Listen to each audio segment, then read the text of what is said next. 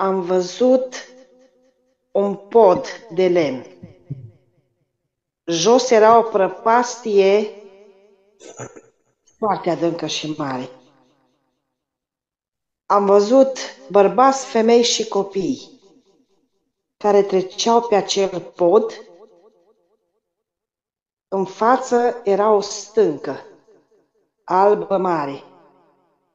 Pe stâncă era o scară iar în vârful stâncei sus era o casă. Uh, mi s-a dat să înțeleg că toți oamenii aceștia erau credincioși. Au trecut toți podul, au urcat pe scară și au ajuns sus acolo la cea casă unde era pe stâncă. Iar am văzut pe marginea podului am văzut oameni, oamenii statului, îmbrăcați în haine de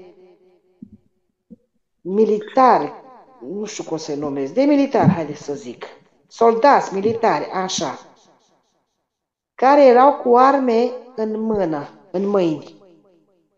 Au intrat și ei pe podul acela, au, ca să ajungă în partea cealaltă după creștini, dar la jumatea podului am văzut cum s-a rupt podul cu ei.